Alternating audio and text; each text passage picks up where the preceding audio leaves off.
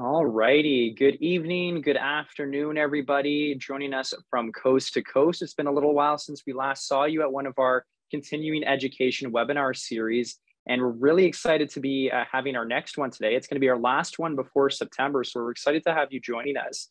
Uh, today's webinar is going to be titled Continu Continuity of Care with Negative Pressure Wound Therapy Strategies for Seamless Transitions. And we're joined by an amazing guest of honor and guest presenter today. Uh, you will have known her, I'm sure, as one of the past presidents uh, from for Nurses Specialized in Wound Ostomy and Continence Canada. But before I introduce her, I'll go over a couple housekeeping items. So first of all, my name's Troy. I'm the Director of Operations for NSWOCC.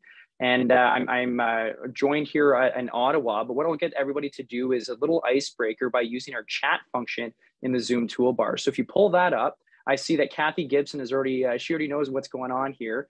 If you can type into the chat what city, town, region, province, country you're tuning in from today, it'll give us a chance to see uh, all the amazing faces and uh, people attending. Amazing. People from all across Canada. Fantastic.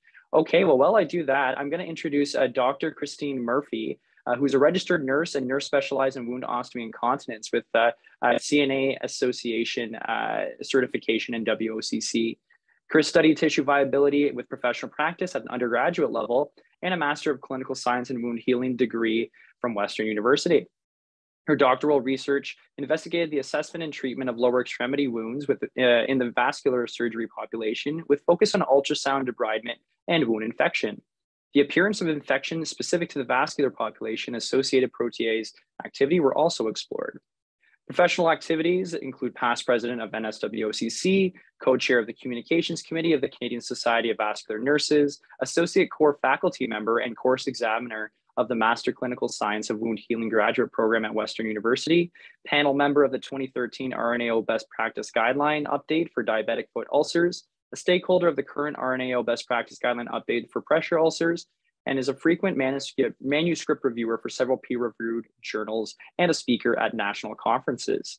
And I think uh, Dr. Murphy was just at EWMA as well, so I, I, know she's really well known even outside of Canada, which is fantastic. Uh, she currently works at, at, an Ottawa area hospital with specialty in complex surgical and vascular surgery wounds, and her position incorporates the care of patients in the pre and post operative phase, including ostomy surgeries, surgical and trauma wounds, and limb salvage management. Additionally, Chris is an educator and mentor for health professionals interested in complex and wound management. So on, uh, without further ado, I want to thank again 3M for uh, making this webinar possible, and I'll pass over the mic and presentation to Dr. Christine Murphy. Thank you. Well, thanks, Troy, and thanks for inviting me. And just a point of clarification, I, I don't currently see ostomy patients, but all of the rest of it is uh, right on. Thank you. Um, so uh, thank you to 3M for the opportunity to present uh, this topic to you. And uh, we'll talk today about negative pressure uh, wound therapy and uh, continuing care uh, as patients move through the continuum. Some of this information will be familiar, and some of this uh, information hopefully will make you think a little bit more deeply about uh, how and why you are applying your VACs. So the, uh, the fine print. Okay, and I am a consultant speaker for 3M. Okay, so what are we talking about when we're talking about negative pressure therapy? So, you know, we we are all familiar with the term VAC, vacuum therapy, suction therapy, and it, compo- it comprises of, you know, the uh, the dressing, so the foam dressing, uh, a suction pump with tubing, and an occlusive dressing, and it's used for many different wound types, in, including the acute and uh, the long term wounds. Um, there's a, uh, sub-atmospheric pressure within this uh, seal to pull on the tissue and to promote healing. I'm sure you're all very familiar with this. This is very commonly used. And so how, how does this work on open wounds? So, and I'm, I'm talking about open wounds because, of course, we also use it on incisional wounds and so on. And I'll get into that a bit more later. But the pressure is basically pulled through the uh, wound filler, which is the foam, into the cells. Uh, and then the suction tubing also facilitates the drainage of exudate from the wound and pulls in the wound edges. So as this happens, as this this pulling force is there, you get an altered tissue perfusion in the area so that the tissue perfusion is increased. And in fact, uh, you know, you can tell patients that uh, if you put the foam on the skin, they end up with what we call a vac-hickey, right? You can really see the pull and the, the stress on the tissue. And uh, this, this pull also promotes granulation tissue by mitosis, by pulling that uh, those cells to their uh, extent of their expanse, they actually sort of give up and divide. And uh, the mechanisms of actions of that to promote granulation tissue have been uh, demonstrated both experimentally and clinically. And I'm sure you've seen this with your own patients when you apply this, the improved growth of granulation tissue. So what effects do you know? Well, you can remove, you can isolate the wound from um, infection right, uh, externally. So the external um, contamination of bacteria. You can uh, isolate uh, the wound from infection from um, adjacent uh, structures too, and I've seen this myself, and I'm sure some of you have, where you've you've put a vac on a wound that's next to um, an area that's draining maybe fecal material or something, and sort of sealing it off and watching the patient physically improve as they're not dealing with such a high bioburden from from the other source. Um, it creates a moist wound environment. We all know that the moist wound environment uh, really does help uh, with the healing, with the cells able to move and uh, get to where they need to go uh, as far as uh, remodeling the tissue. Um, again, the transmission and removal of exudate, uh, the removal of edema, uh, so the regional edema, of course, is going to interfere with healing and it's going to decrease local perfusion just by the very bulk of it being there in the uh, pressure on the local capillaries that it uh, exerts. So when you can remove that uh, extracellular fluid, then the uh, microvasculature can function more appropriately. Uh, it provides mechanical stress of the wound edges, which encourages them to move forward, promotes the blood perfusion, of course, and it promotes angiogenesis, the growth of new blood vessels, and promoting granulation as a byproduct of that. Now, when we talk about isolation from, from infection, you can imagine these big, uh, extensive wounds. Uh, it, they're easily contaminated by environmental bacteria. And so putting on that external drape um, is a physical barrier immediately. However, you know, just uh, uh, preventing bacterial entry from uh, the external environment, the wound can already be infected. There can already be enough bacteria to um, uh, develop an infection that worsens. So you do have to continue to monitor, even though that you've occluded the exterior, of course. Uh, and some bacteria may be physically removed by the suction itself. Um, whether or not that impacts the degree of infection, I don't think that's been well proven, but there, there is uh, evidence that uh, physical removal of bacteria does occur to some extent. And again, removing the uh, edema and uh, exudate, um, this really um, improves the microvascular flow. And um, you want to get uh, that out so that you get the nutrients and the oxygen within the microvasculature to the wound. Of course, if you're not getting perfusion, it's not just oxygen, but it is nutrients as well and of course, by doing that, you reduce, uh, you know, if you have edema, you reduce the resistance to infection. So uh, if you're decreasing the microvascular flow because of edema, then the chance of infection increases. And so the surface tissue can be compressed um, with the application of the foam. And I'm sure you've seen this as the foam sucks down, there is a local pressure that that happens. And that also um, can reduce the interstitial edema, just the physical pressure. Um, and uh, of course, this is one of the reasons we like intermittent in order to uh, apply pressure that will um, move the edema and it also can cause a little bit of a local uh, tissue pressure and even ischemia. But when you apply the intermittent suction, you're giving things a break and allowing it to reperfuse and, in fact, improve perfusion and granulation. So scientific studies have shown that there is a macro pull, so a, a bigger sort of pull uh, suction that facilitates modeling by you know, encouraging the wound to contract just by physical, um, the physical linear movement of the tissue.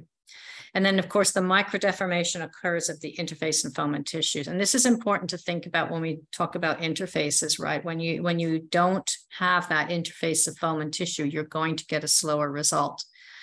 This interface between foam and tissue induces these uh, biochemical reactions, such as release of growth factors and so on, and gene transcriptions that uh, instruct the tissue to rebuild. So the mechanical microstrain uh, induces this uh, tissue response, and including this mitosis that we talked about, this uh, dividing of cells in two based on the strain, which accelerates granulation because now you've got more cell support, you've got more building bricks, if you will, uh, as the uh, the cells divide. And then, of course, that that pull also um, helps uh, extracellular matrix such as collagen and so on, be deposited there um, by uh, improving the uh, the function of the um, fibroblasts and other uh, cells that are involved in tissue repair. So it's important to, you know, have a plan and continue through with this plan and uh, realize that all these things are happening. And, uh, you know, sometimes when you move people through out into, say, community providers and so on that have less capacity, say nursing homes and so on, you may feel that, oh, well, we'll just uh, use a conventional dressing um, to maybe get uh, an okay result and get them to slow a little bit, uh, to heal a bit more slowly, but get there in the end. But unfortunately, some patients will not heal in the end without full support. So this uh, promotion of angiogenesis, and granulation tissue on some of these bigger wounds, especially if they're borderline ischemic, uh, is going to be very important. It has been shown that uh, negative pressure uh, application increases granulation tissue by about 60% compared to, to controls. And when we think about those uh, sternal wounds, and uh, I'm sure many of you look after those sternal wounds, um, you're stimulating the blood flow after the internal mammary artery harvesting, which is commonly used. And of course, a common reason for the failure of those sternal incisions is that the micro or the, the local perfusion has been interrupted because of this harvesting. So you want to do everything you can do to support this. So you need to have a consistent, clear goal with the uh, team to know that uh, everybody's on the same page. Everybody understands the reason that the negative pressure is in place for the particular patient you're looking after. Because what you don't want is to remove this uh, therapy and put on something else when something like a sternal wound may be at risk for an at risk patient. So with the VAC therapy, of course, there is the SensaT.R.A.C., which is a pressure monitoring technology that maintains that steady um, suction to the uh, wound, no matter the position of the patient. And you'll see this in the machines as you know your patients move around and so on. And people may say, "Oh, I noticed the machine, uh, the pressure's changing. It's not reading what it should be reading. What it's doing, in fact, is reading the actual pressure, and then it, it will accommodate for that. And you'll hear the the pump sort of move up and down to uh, make allowances for that, which is good because what it's doing is it's providing that consistent uh, negative pressure to the wound to allow consistent healing. It also detects things like blockages. And uh, of course, you have alarms and so on, which we all know and love, I'm sure, but it's important to know and deal with these things so the technology is still working properly. So again, uh, how it works is by improving the rate of angiogenesis, so the new microvasculature, um, endothelial proliferation. So, you know, it helps with the skin ingress, the integrity of the capillary basement membrane. Uh, so, for the development of new tissue, capillary blood flow, capillary caliber, as we talked about, by reducing edema and decreasing the interstitial edema and bacterial burden within the wounds. And so, you know, this has been uh, well known and published, as you can see, for some years. And you notice some of these references are a little older. It's because the the very um, solid foundation has been in place for some time. And of course, you don't need to repeat things that have already been found and found and found again. So removing again the if you look at um, all kinds of different uh, areas internationally everybody agrees on how this works this isn't sort of one group of people this is the expert working group for the international in the international wound journal for the VAC consensus document. And again, they agree it removes exudate, reduces peri-wound edema, increases local microvascular blood flow, promotes granulation tissue, reduces complexity in the size of the wound uh, instantaneously. By putting that on now, you can manage a patient on a ward, which before might have been difficult. Uh, or even in the home, and uh, prepares the wound bed uh, prior to and following surgery for things like skin grafts, and uh, reduces uh, the complexity of uh, surgical uh, closure procedures.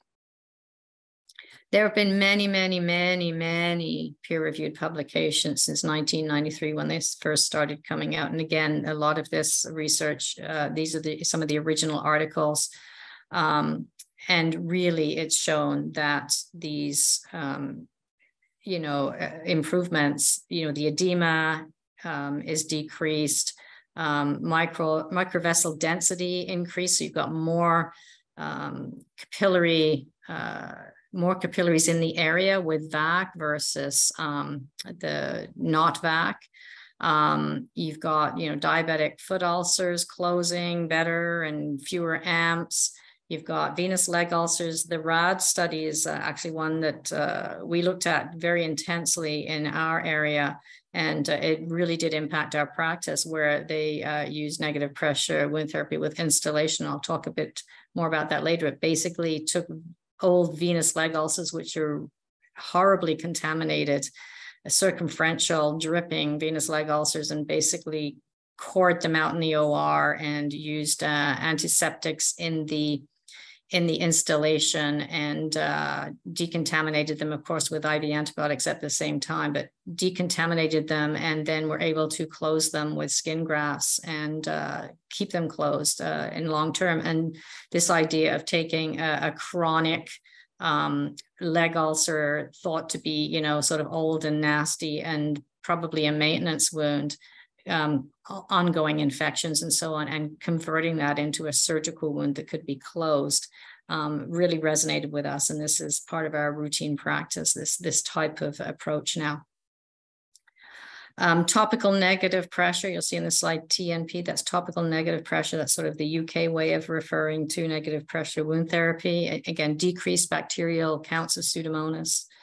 Um, and, uh, you know, a case series showing increased fibronectin level in patients with negative pressure. So fibronectin, of course, is part of the glue that okay. holds tissue together. On the web for showing increased fibronectin level in patients with negative pressure cell. Check it out. So you will, you heard my Siri there. That's pretty funny. She just decided to uh, jump into my lecture there, but that exactly. So fibronectin level is required. Uh, uh, fibronectin is required for the glue of our tissue. And uh, is in uh, involved in chemotaxis, so the movement of cells to where they need to be, and uh, and so on. So all of these things are induced by negative pressure therapy. And where do we use it? I mean. Uh, I'm sure you know as well as I do, we're finding new ways every day. So sternal dehisced wounds, of course, um, diabetic foot infections, uh, post I&D, uh, venous leg ulcers, open amputation, uh, residual limb support, abdominal compartment syndrome. It's life saving in this area, um, abdominal dehiscence, orthopedic open defects, right? Plastics, flap, graft support, abdominal fistula, post traumatic reconstruction, vascular wound dehiscence, bariatric surgical wound support, complex urology wounds, complex uh, pressure injury. Um, these are just some, right? So uh, again, new applications every day. You do need to know your anatomy. You do need to know what is safe and what is not safe. And you do need to have a plan with the team. And if it's a surgical wound with the surgeon to know exactly what's what, where the um, perimeters of your safe area to VAC are. Um, but um, this is highly effective uh, therapy.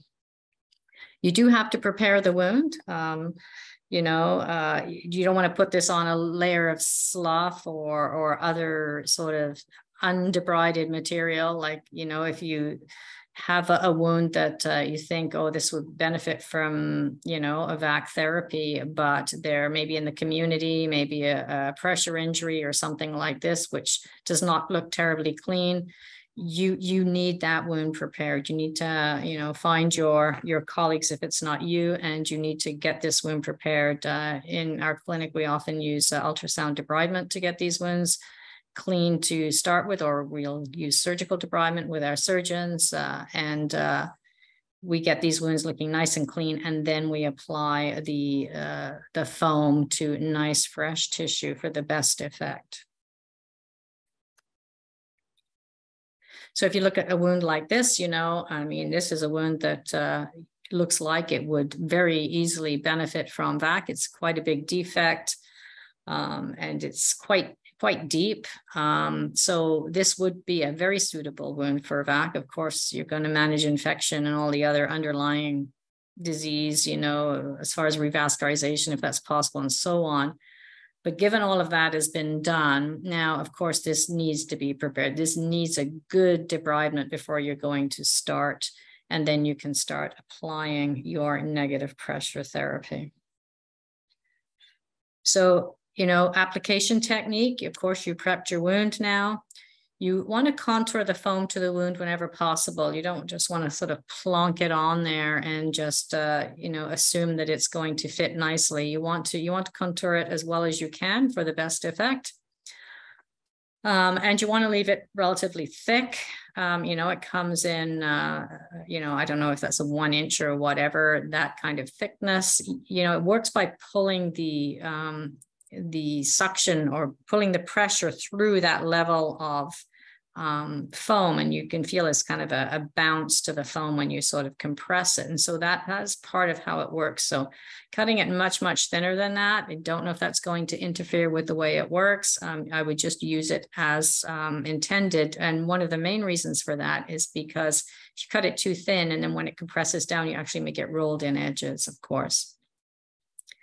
So when you apply the uh, the foam, you're not going to squish the air out uh, as you um, as you apply the drape. Uh, it's very important when you put it on to make sure that the foam is relaxed because again the way it works is by pulling that the air out of the foam and and pulling on the tissue as it removes the air so if you've already removed the air you're not going to get the same level of impact from your vac. So you want to smooth the drape across the top. And then the, the trick to get the real great seal with these things is then to smooth uh, the drape down the sides of the foam and sort of tuck it in, pinch it in at the wound edge at the bottom, and then smooth it out along the skin. And that little tuck pinch in at the bottom of the of the sides where you've uh, smoothed it in, that is your seal right there. The seal isn't sort of wrapping it around the leg 5,000 times. Like uh, I've seen some, I'm going to blame orthopedic surgeons, but I know many different surgeons do this. They think the more the drape, the better. But actually, the trick is to put the drape, smooth it across the um, relaxed foam, smooth it down the side, just pinch it in, just have a little tuck right at the, the wound edge there, and then smooth it out along. And uh, you will get a great seal most of the time with that. And then, of course, you're going to uh, apply the tubing through the hole, and you use the you can use the paper backing on that um, track pad as a template to cut the size of the hole. So it's a it's a good size. It's a good tuny size at least um, you would have to cut that hole bigger than the entire backing piece um, to make that uh, that seal not work. So don't be shy. Like get, I always say, get your money's worth of the back. Make that hole big enough. Use the template as a, a guide to how big that hole should be, and then you apply the suction. And of course, if you don't have a big enough wound to put a good track pad flat on the top of your foam, then you can extend the area of the wound by using a hydrocolloid uh, in the peri wound um, and then just put a bigger piece of foam and make sure it's flat. If you try and put the trackpad on a foam that is not at least as big as the as the hole that you're cutting, you're going to end up with sort of U-shaped uh, track pad when it sucks down, and uh, it's going to cause alarms and it's going to cause you grief. Of course, there are different foam types. There's the black that is the basic one, and this works well for the majority of wounds. There is silver that adds an antimicrobial effect, and you might want to do that on uh, infected wounds or high risk wounds, such as orthopedic hardware that are likely to get infected. Um, the silver one will make sort of a yellowish grayish kind of uh, wound uh, color. And uh, that can be difficult to monitor for some patients. So you have to sort of decide whether or not you want that and then realize that's what that is. And then of course the white is the atraumatic one. And this is, you know, it's non, non-adherent. Um, and uh, you use this uh, in tunneling or in your areas of concern um, and painful wounds, of course, but it's going to be a lot more, a lot slower result for granulation tissue because of the density of the foam. Uh, and this works well, you know. This is a this is a patient we had a long time ago, uh, thankfully. But um, and, and you you look at this and you think this is horrendous pressure injury. Actually, this person had um, uh, they had vascular disease, central vascular disease, and they're required to have a central revascularization to fix this. So this is actually an ischemic wound um, with some pressure, of course, but this is mainly uh, central ischemia. This is not uh, primarily a pressure injury. But uh, we had to obviously offload this and treat it once he's revascularized as a pressure injury. And uh, this was treated with VAC, and then it was followed by um, Prisma uh, to get uh, this wound uh, closed up, and uh, he uh, he left the hospital with a, a, completely closed wound. So, what settings do you use? Again, intermittent is the best for granulation and perfusion. So, to pull those cells, and in the perfusion, they get a rebound perfusion when it's off, and this is has been found the best if those are your goals. You need to know your goals. Um, continuous, you would use that for wound bed stability. So uh, maybe a sternal wound or an abdominal wound, something that you want to be more stable. Um, and for painful wounds, because the on off may be uh, irritating. Of course, if you can manage the pain and they should be on um, intermittent, then that's something to think of too. Usually 125 is the target for most, uh, usually 100 for sternal wounds, and there you use interface uh, dressing or white foam and you follow the manufacturer's directions for this. Um, you may need to adjust the suction up or down based on the response. Um, and always, again, refer to the uh, manufacturer's uh, recommendations for these settings, which may change over time and consensus documents and so on.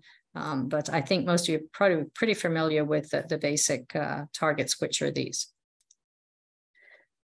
So again, the intermittent mode, the dynamic mode, um, it causes sort of a massaging effect. So it uh, stimulates circulation, oxygenation, and angiogenesis, and presumably there's a lower risk of ischemic damage. So typically on our vascular patients, the majority of them are going to be on intermittent mode. The granulation tissue formu- uh, formation is significantly greater in intermittent suction. Um, and again, sometimes continuous mode is needed just because it can be difficult to maintain in uh, in uh, intermittent. So between the toes, for example, and things again, things like sternotomies, uh, peritoneum, this kind of thing, or using um, over grafts or skin flaps, continuous mode is going to give you good structural support.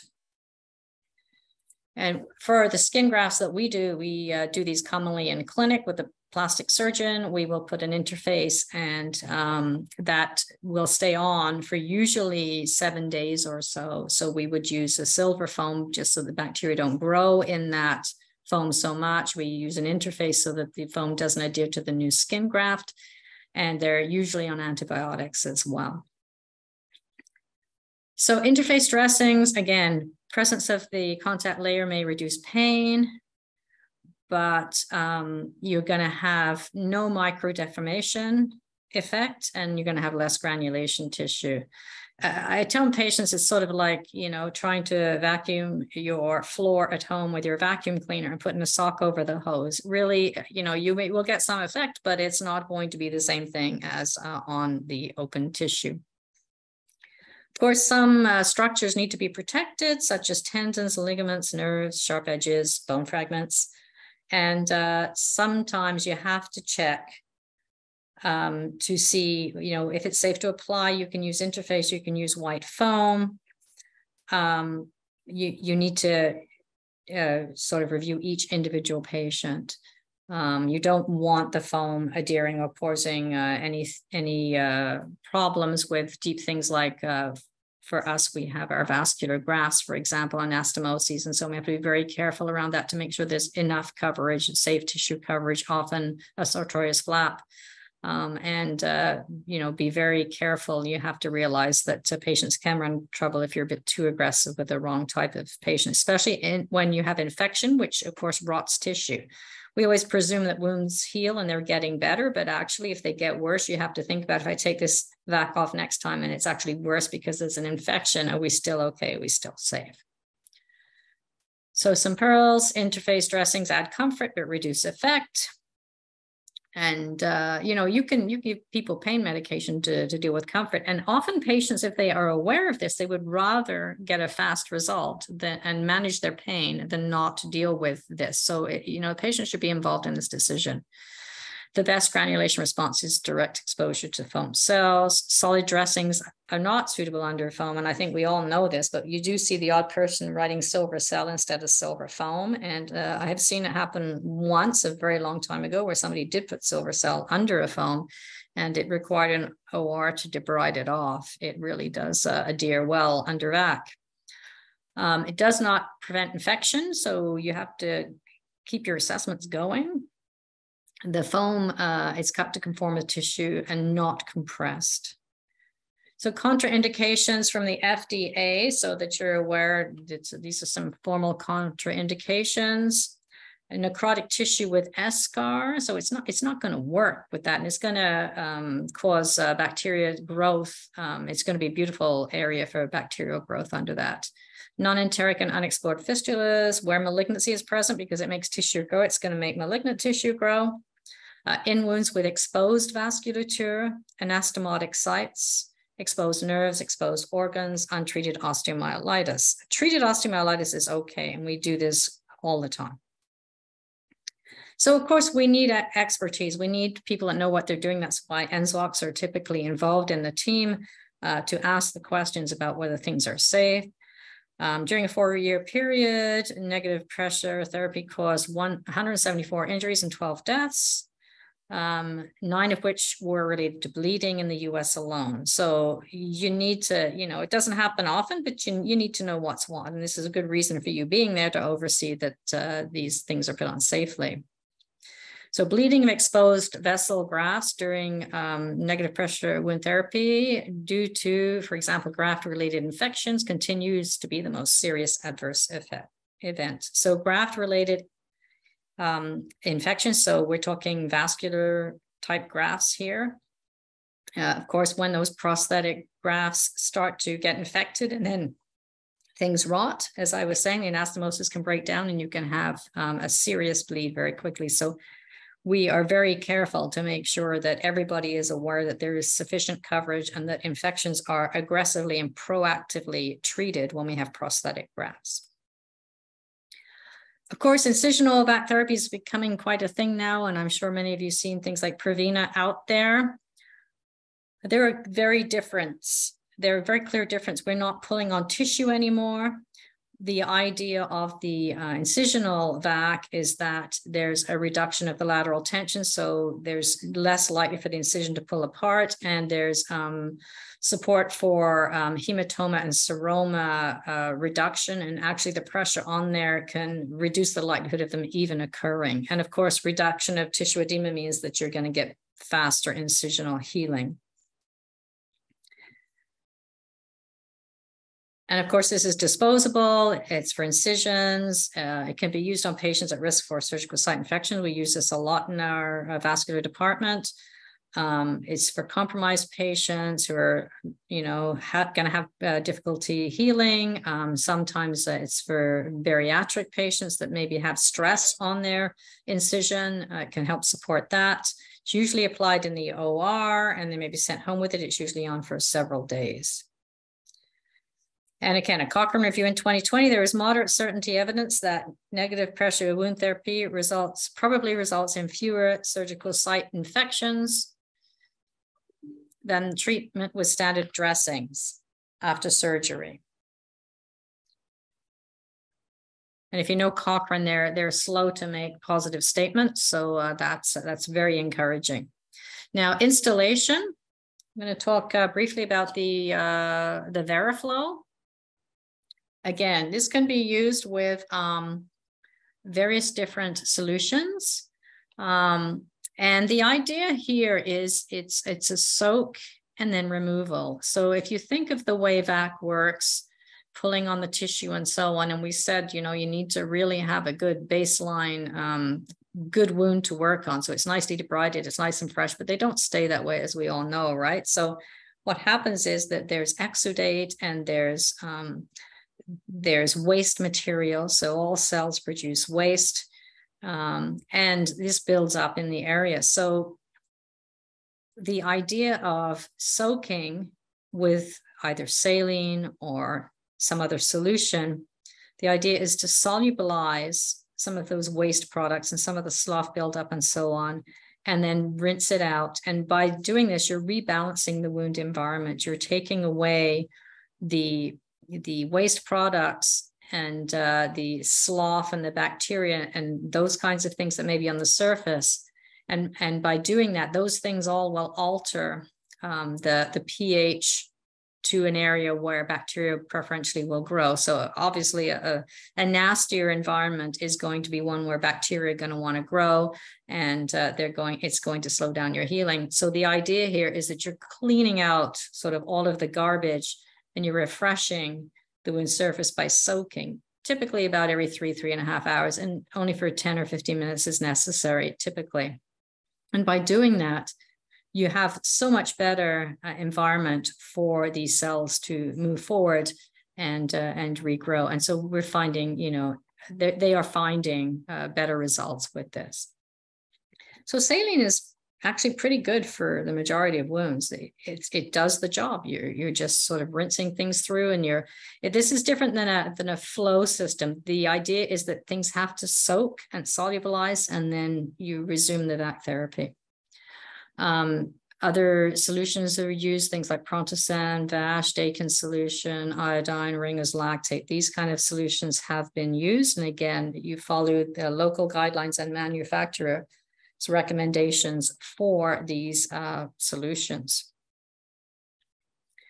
So in rebalancing the wound to get the better uh, result, you can see this wound uh, needs some work. The, there's no amount of VAC therapy is going to fix this wound without a little bit more attention first. You need to address things like necrosis. You need to address things like senescent cells, damaged extracellular matrix that may be in the wound, in situ biofilms, of course, if your edge is not migrating, the chronicity of the wound, the inflammatory response and where that's at, and the infection. So these are targets for uh, to be addressed. And you know, here's an example of a, a vascular traumatic wound where somebody was um, hit by a bus and um, degloved and ended up needing a um, a bypass through there.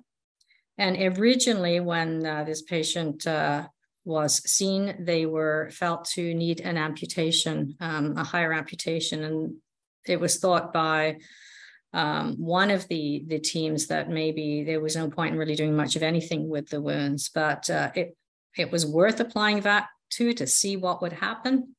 And the, the concern here was that there was a, a uh, vascular graft um, in there uh, after the injury.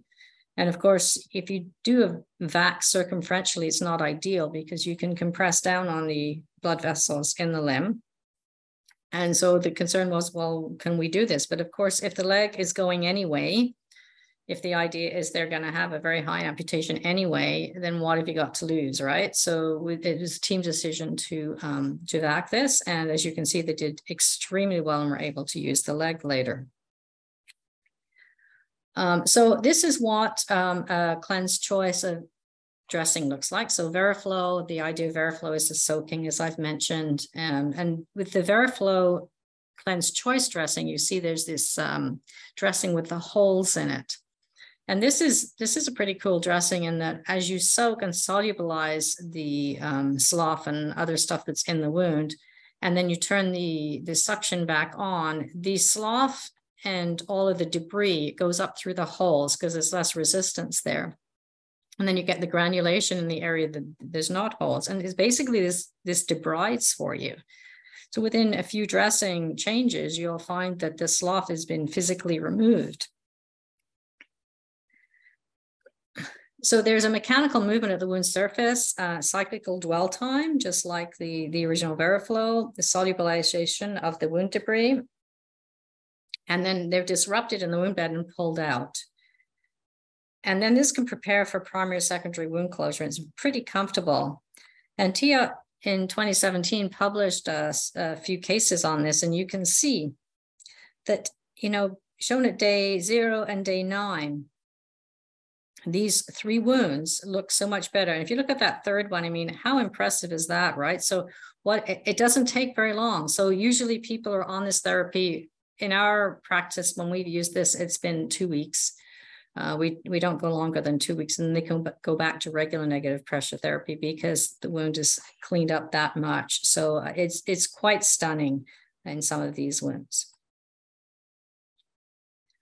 And so uh, he looked at 21 patients um, and 21 complex wounds, used the VeraFlo Cleanse choice, uh, soak time 10 minutes and uh, phase time 3 point. So every three and a half hours, there was a 10 minute soak at 125 uh, suction, and the dressings were changed for every three days to get this response. And uh, so he compared conventional negative pressure to VeraFlo. And uh, of course, uh, patients received surgical debridement, but some did not. And uh, some patients had confirmed uh, and treated osteomyelitis. So the duration was on average 8.7 days, so not even two weeks. And usually in that time, they had 2.9 dressing changes. Most of the non-viable tissue was removed at the first dressing change after three days of therapy. So it's very quick. Uh, an average of one to three applications, rapid uh, granulation tissue, no, you know, no matter whether they're debrided before or not, they didn't need to be debrided before or not. That that's the point, right? Um, less than 10% was sloughy and rapid decrease in necrotic tissue. So if you don't have the ability to debride, this is good. So when you discontinue negative pressure therapy, this is the next question.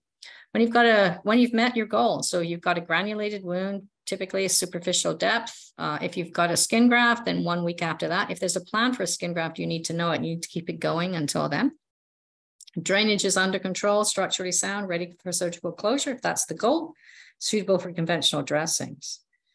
So here you have, uh, there's a vascular graft uh, under all of this. So what preparation do you need? Well, this needs to be debrided out and uh, likely there needs to be a sartorius flap put in there or some kind of protection. Uh, we need to make sure there's enough tissue between the graft and the uh, VAC application to make this a safe thing to do. Where is the anastomosis? So you have to talk to the surgeon. It's not something you can go in and assess yourself. You need to talk to the surgeon about this. And uh, does, does negative pressure therapy work? I think probably most in the audience know it does. And this is your typical sort of diabetic, uh, neuroischemic type patient who's also on chemotherapy. So, you know, um, not an easy patient. And, uh, you know, just within a few days, we're able to take this wound that is very close to joint down to something relatively superficial. And here's another one, which may look uh, pretty benign, but actually there's tendon in that first uh, shot, right? So um, the fact that there's tendon there and we were able to get that to cover, that can be a very challenging thing to do.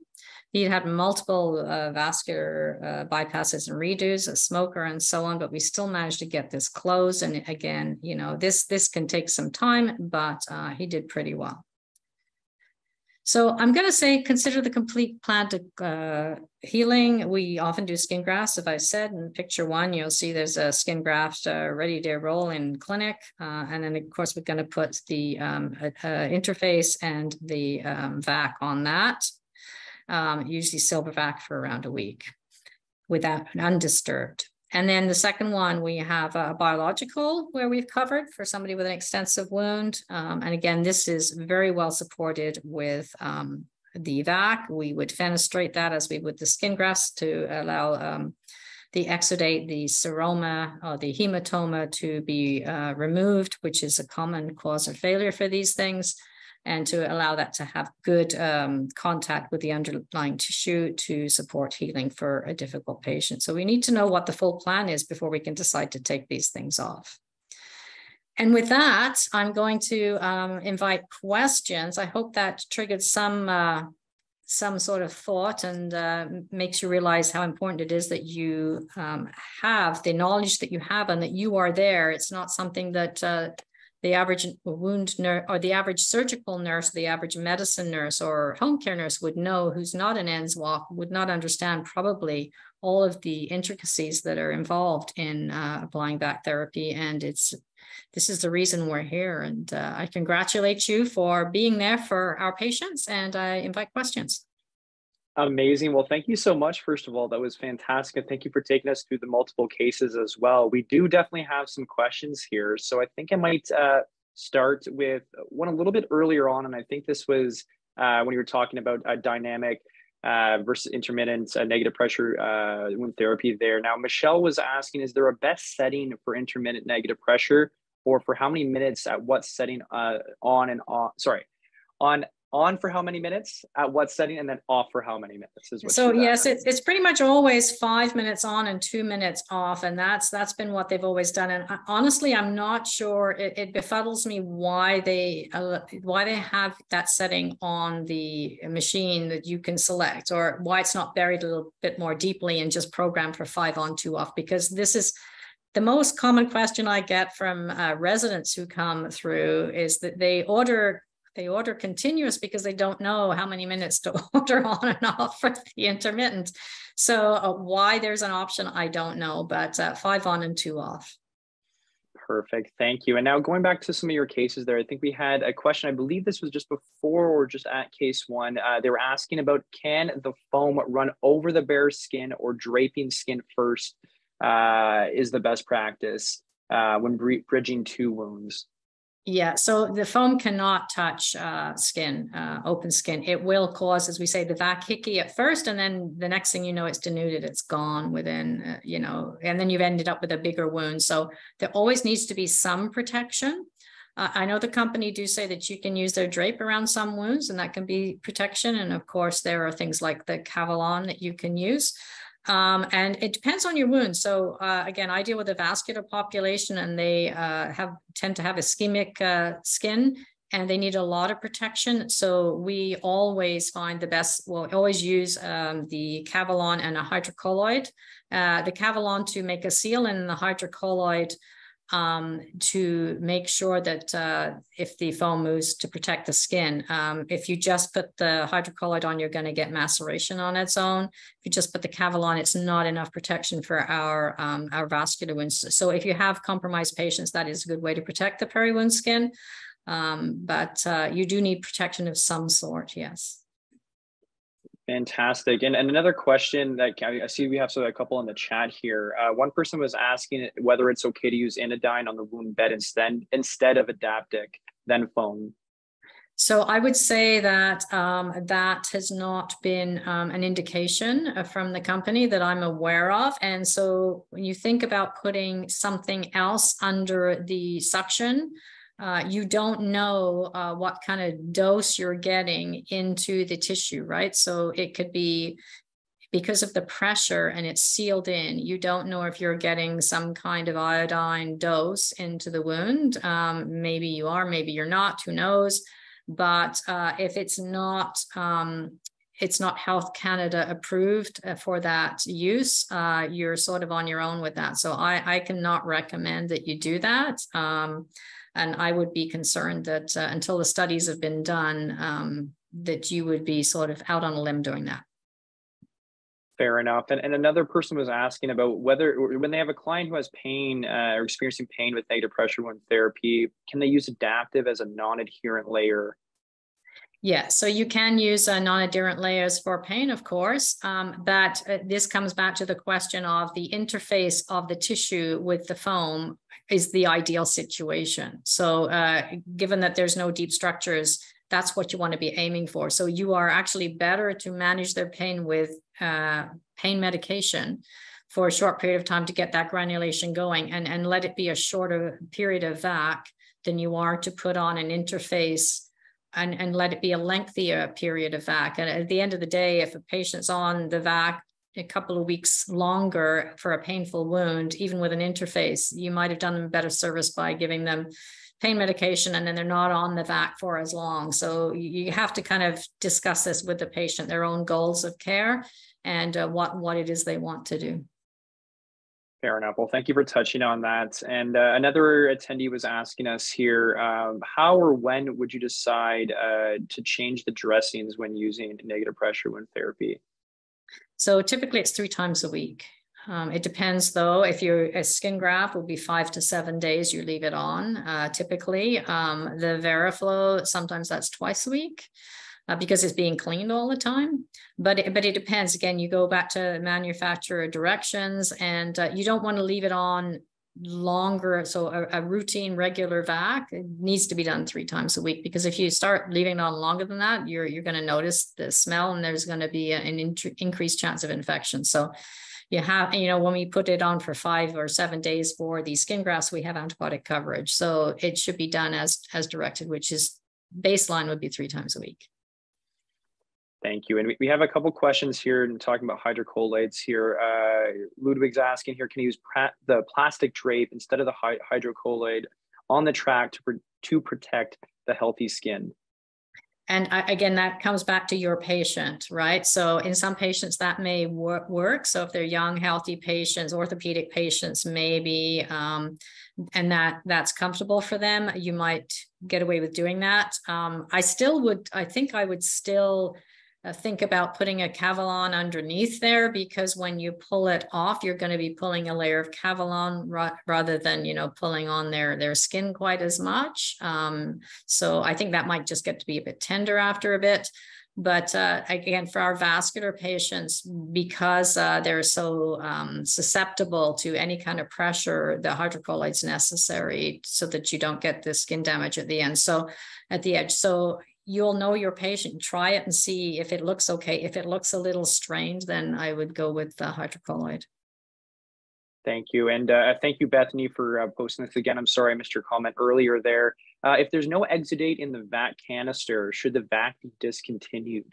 So no, and I hope I hope uh, that's uh, uh, that's been clear after uh, the presentation. The VAC does so much more than remove exudate, right? So it's pulling on the cells, it's uh, it's it's physically changing the uh, direction of the cellular movement. So pulling in the skin cells from the edge. It's causing mitosis, which is improving granulation. So uh, in our vascular patients, it's very common for them to have next to no drainage. And uh, in the early days, we really had to do some local education to our community nurses saying it's not an exudate management tool. That suction is causing them to have better perfusion and allowing them to heal a wound that we couldn't heal with regular dressings. Perfect. Well, thank you for touching on that. And and here's a, more specific uh, question, maybe a specific case. Uh, this person talked about uh, there's potentially a case where there's bleeding when the foam is taken off, even prior to uh, soaking. Have you done anything, or you have experienced any situations where you've had to troubleshoot granulation tissue that's embedded into the foam? Yeah, so that can happen. So there's there's a there's a bunch of different things that are at play there, right? So why is it bleeding? So is it because they're heavily anticoagulated, or is it because it, the tissue's growing into the foam? And if the tissue's growing into the foam and you remove it, and there's a little bit of pinpoint bleeding, that's actually a good thing um, in some wounds because you're you're stimulate when you get bleeding, you're releasing new growth factors that are instructing the tissue to move forward. So that's why well, one of the reasons we debride. So it depends on the reason for the bleeding. If it's a vascular groin that's bleeding, I'm not terribly happy about that because I don't know where it's coming from. But uh, you know, it depends. It very much depends on the wound. Soaking things off and figuring out why it's bleeding. So is it bleeding again because they're heavily anticoagulated? Is it bleeding because there's a biofilm uh, infection basically there that is causing the tissue to be friable? And has that been properly managed? So there, yeah, more assessment, unfortunately. No problem. Well, thank you for touching on that. Another person was asking about the use of Hydrofera Blue with negative pressure wound therapy. Is this something that you've seen before? So again, this is going to be um, this is going to be like the uh, other question in that I'm not aware that Health Canada has approved the use of Hydrofera Blue or any other uh, associated dressing under the system. The system is designed to be used as as a system of its own, and um, anytime you do that going off label, you can be kind of responsible for what's happening with that gentian violet, that methylene blue being soaked into that wound over a few days under pressure. Um, could there be any um, sequela to that? And, and I, I would be concerned about doing that. I wouldn't do that personally. Thank you. And just a Bethany asks a follow up question here: whether anticoat, uh, sorry, Acticoat Flex is the best use if black foam is sticking to the wound. If it's the best use. Uh, yeah, whether it would be the best use, or let's say that the black foam is sticking to the wound, how would you potentially approach that situation? So again, minor sticking to the wound is not a problem. Um, so as long as there's not a, a lot of pain, uh, because that's what it's supposed to do. There's supposed to be interface between foam and cells. So that's not that's not a, in itself a problem. We don't want to stop that happening unless it's again causing a lot of pain, a lot of ingrowth. In which case, if there's a lot of ingrowth, then you've got to think about why is it sort of hypergranulating under there? Again, is there biofilm and so on? Uh, you can use the interface. Again, it depends on the type of wound. So it's, you know, different wounds uh, respond differently in different areas of the body and different patient populations and so on. But again, Acticoat Flex, uh, I think that was mentioned, is, is, I'm not aware that Health Canada have approved the use for that under a negative pressure therapy. Okay, no problem. And it looks like we uh, have a couple more questions coming in here. I'm just seeing the time. We have a time for a couple more. So we'll see if we can get through these here. Um, Christina asks, how can you decrease the risk of placing negative pressure wound therapy on a near circumferential wound to get the benefit of the therapy? How can you decrease so, the so yeah, it's almost yeah. circumferential. So yeah, and again, it depends. It depends on your goals of care. So that that uh, trauma patient I showed, that patient was going to lose their leg if they didn't have a granulation and skin grafting. So it's a risk versus benefit type thing. Um, it depends, right? It's if they're a severe vascular patient or they're not, and so on. Make sure that they're comfortable. Um, sometimes it has to be applied circumferentially. There are patients that this does happen, and you just have to make sure you're you're checking that their pain level is not bad, that their circulation to their foot, if that's what we're talking about, is uh, okay. So you're doing your pulse checks and your color checks and all of that kind of stuff and, and, and just watch very carefully. You might have to change it more often um, if that's, you know, you might not leave it from a Friday to a Monday. If you're concerned about that, you might want to give them a break. Um, but uh, yeah, sometimes you you don't have an option. It's a risk versus benefit. Again, in in consultation with the team and the patient. And uh, a question, I, I, see if I can I can put this in a way that's easy enough to re- respond more generally. So um, in a situation where the hole in the trackpad is bigger than the wound, do you mind just giving maybe some a couple tips or maybe just a quick summary of what you already went over about using hydrocolloid to extend the surface of the wound? Yeah, so um, so uh, usually we would picture frame the when we're applying the vac, we picture frame the uh, wound with uh, either the drape or a hydrocolloid. Usually with Cavilon, that's what I usually would do. Um, so that's that's normal. So it's about a one centimeter um, picture frame. I think most people will be familiar with that. Um, so what I'm talking about extending that is rather than just making that the one centimeter picture frame, you actually put a, a big piece of hydrocolloid uh, one side of the wound or however it sort of lies, and then you can put the foam on top of that. You put a bigger piece of foam on that covers the wound and also covers goes on to that uh, adjacent um, hydrocolloid. So nothing's touching the skin. You just got a bigger platform to put that on. Fantastic. And we have a question from uh, Christina in our Q&A here, uh, asking about what the correct way to moisten the foam is prior to removal. Is it removing the drape and pour normal saline to moisten it or introduce the saline through the actual tubing while leaving the drape closed? Yeah, so I think again, it, it, depends on the patient again. So uh, my preference is to usually, for most, I would I would peel it off and uh, moisten it as necessary as I peel it off from the side.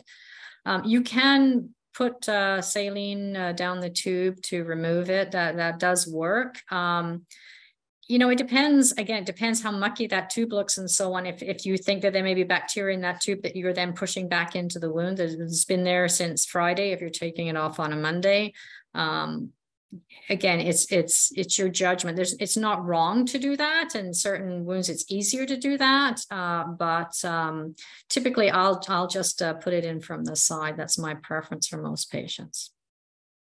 Fantastic. I think we'll end off with this one last question here because I think we're right up at, at time. Uh, Ludwig is asking, how long should I wait to decompress the vac to avoid too much pain on my patient when changing the foam? Would you recommend soaking it with sterile water or normal saline? I think we were mentioning that earlier. So to decompress, I mean, basically you're switching the, the suction off and it's decompressing on its own very quickly. That shouldn't cause most patients pain. If patients are having an awful lot of pain, you've got to look to the reason why they're having pain and deal with that because it really the therapy shouldn't be that uncomfortable if the if the wound is well managed and not infected. Fantastic. Well, I'm going to echo what Shirley McSavany is saying in the chat here. Very informative and interesting. Thank you so much. And I'm sure uh, that goes without saying from uh, everybody from across Canada. We really appreciate uh, both you and 3M for making this possible today. It's a very interesting and very informative uh, webinar. And for everyone who's online, if you have colleagues or if you want to watch this again later, it will be available as a recording on our nswoc.ca website. And uh, those who are in attendance with us today will be receiving a certificate of attendance from NSWOC. So do check out your email by the end of the week. Uh, so thank you again, Dr. Murphy. We appreciate your time and your expertise as always. And thank you again, 3M. We hope you all have a good rest of the evening. Thanks, everyone. Bye.